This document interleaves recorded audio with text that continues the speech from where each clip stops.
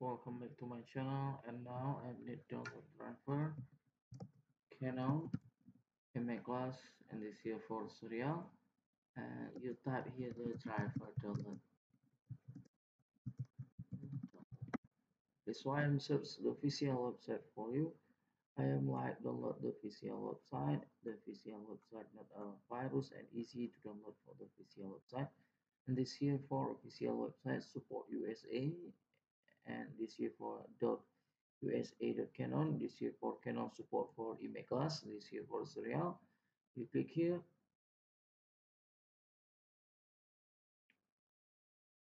And this here for uh, you the, the printer you scroll and this here for the printer. This printer support for scanner and support for the Wi-Fi.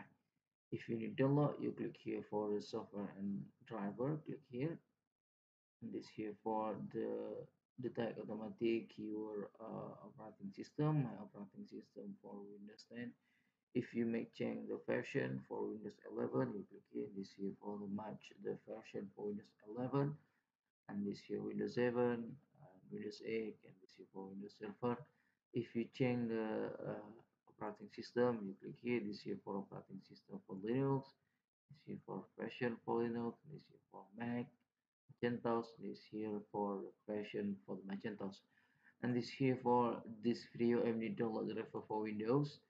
Click here this here for windows 11 a new version for windows. And this here for uh, the try result for windows 10 okay and this here for windows 10 this 10 windows 11 and this here for now the support for Windows 11 this here for Windows 10 and this here for recommended for you and for scanner and click more and this here for the back and recommendation for you download for the printer. This here for the printer if you need download you click here for button. And this one this here for loading button this here for the complete you download the driver.